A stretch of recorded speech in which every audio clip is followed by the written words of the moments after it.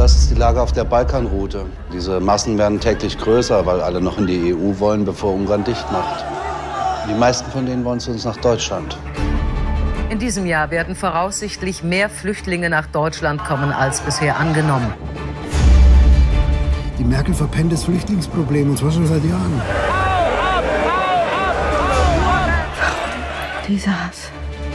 Och, das hast du doch ganz prima gemacht. Scheiße. Ungarn baut an Grenzzaun. The problem is a German problem. Schließen Sie die Grenze. Führen Sie Grenzkontrollen durch. Wir haben so vieles geschafft. Wir schaffen das.